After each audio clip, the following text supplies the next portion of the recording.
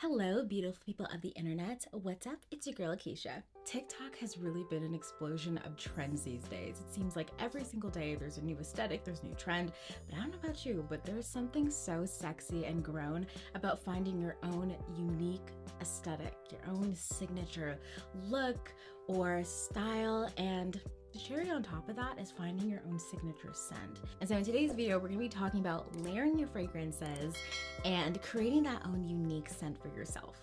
There's so many different scents out there from citrus to clean to woody to vanilla-y, that type of sweet scent. Everyone gravitates to different ones. If you don't know where to start, what can be really helpful is pulling up one of these charts. A chart like this will show you all of the different types of scents that are out there. Please remember that you don't have to just pick one, you can have a few that you love. A chart like this will really help you figure out what complements each other, what layers together, what scents can you explore to find your unique scent. For me, I always like to find first something that complements and then something that adds a shock factor, like something you wouldn't really expect. When you start to layer your fragrances, you want to focus first on your bases. When you're choosing your hair care products, your body care products, you want to make sure that you're choosing the right scent for you. This could be choosing the same fragrance. For example, if you like lavender, maybe your shampoo is lavender, maybe your body wash is lavender, your body um, butters or whatever are lavender as well. So you can create a cohesive scent, or maybe they are just fragrance free. And the majority of my products, they're usually fragrance free or they smell like fresh linen. I don't know, I'm obsessed with that scent. But anyways, my body care routine starts with the Dove Dryness Repair with 6% hyaluronic acid. This is their new body wash that I've been using for a couple days now, and I love it. Oh, I love this clean scent. Like I, I cannot get over this. Anyways, so yeah, this is what mine usually begins with. And then I will use a shea butter. This is a whipped shea butter that I made not too long ago. Doesn't really have any scent, just smells like butter. So not really adding to the scent palette. And then last but not least, I'll finish off with my deodorant. This is the Dove Advanced Care, their original dry spray. It has that really clean scent. There isn't really a fragrance to it. So this is where I would start for my body care routine. The next thing I'd recommend doing is finding a body spray, a scent that is very, very natural to you. So like I said, I love clean linen. I love fresh. I'm like a cancer, so I'm drawn to the sea. I love anything beachy, light, floral. So for me, my signature body spray is a Victoria's Secret's uh, Aqua Kiss. I love this because I feel like it's a blend of the floral, the clean, and the ocean, which I love. Most fragrances that are beachy just smell like sea salt, and I'm sorry, like I love sea salt, but not as the entire fragrance. I'm really bad at describing fragrances, so I'll put the uh, fragrance list on this side so you can get a feel of what it smells like. So with this body spray, you're going to spray the sides of your neck, so right there, then you're going to spray on your pulse points. So this would be the inner crooks of your arm, your wrists on both sides, and behind your knees. This is where those pulse points are going to be. If spraying it in these regions are exactly where it's going to mix with your own natural pheromones. Now, if you really want to get spicy, you can spray it on your ankles as well. I will leave that with you. Next, you want to find your favorite body oil or fragrant oil specifically. And this is because oils and butters and even Vaseline holds fragrance like nothing else. This will get your fragrance to last all freaking day. So if you don't have a fragrant oil or you don't really want to get a fragrant oil, you can use Vaseline and rub it on those areas as well before applying your perfumes. I'd recommend finding one that suits you once again. I love a very mature scent to my fragrant oils.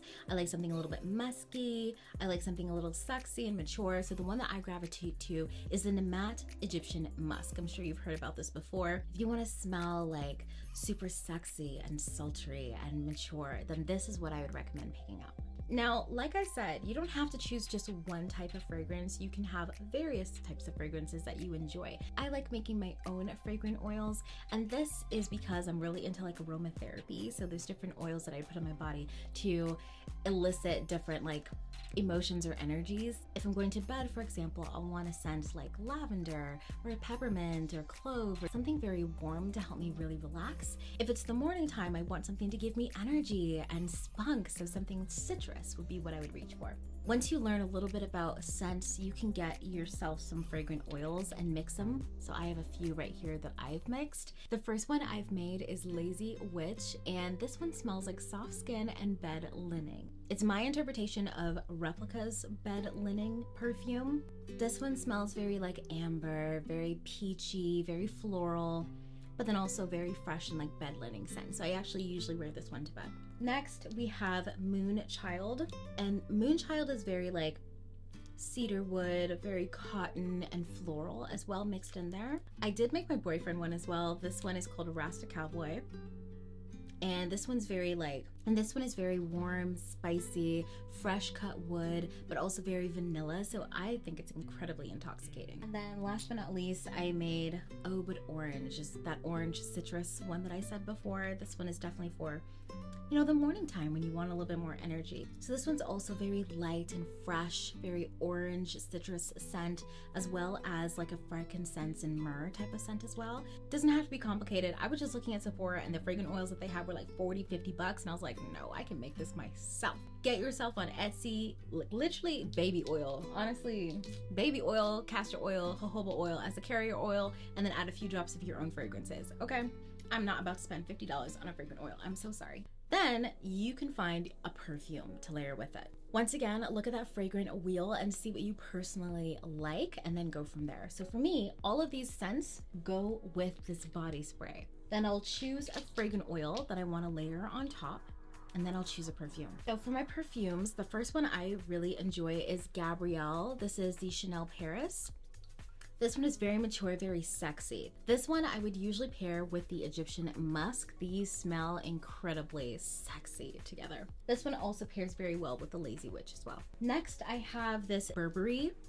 This one is a very like, very light, fresh linen, very cotton type of scent. This one I would usually pair with Oh But Orange. Next I have the Herbie Zen. This is a new one that was actually sent to me and I really did enjoy it. It's very like masculine smell. I don't know, sometimes I really love a very like masculine scent. I think it just adds, I don't know, I'm really into like kind of manly scents for some reason, especially because I'm so like girly and like light and whatnot and like a butterfly or like a fairy, whatever. I love having that juxtaposition of a little bit of like manliness to it. So I love pairing this one actually with the Moonchild. I think they smell really good together because that adds a touch of like floral to a very masculine scent. I don't know, I find that juxtaposition really, really beautiful. And the last one is Guess Seductive. Now this one has a very spicy scent. Personally, I find this one really pairs well with all of the fragrant oils that I mentioned before. That is basically what I would do. I would get four types of perfumes, one that's very light floral, one that's very sexy, and one that's very spicy, and one that's a little manly, and then you can go with those. Now, once again, if your thing is fruity, then fruity I would usually pair with like citrus. You can also pair fruity with spice, just to get that little pop of like je ne sais quoi. And of course with these perfumes, you wanna spray it on those same areas. So your neck, the wrists, the inner portions of the arm, the back of the knees, and of course, you know, the ankles. If you really want your fragrance to be like super intoxicating and like really to follow you wherever you go, spray it at the back of your neck. Thank me later. Leave a comment down below and let me know what are your favorite fragrance pairings. I would totally love to know. Click over here to see some of my previous videos, and as always, stay gorgeous, stay fabulous, and I'll see you lovely ladies and gents in the next video.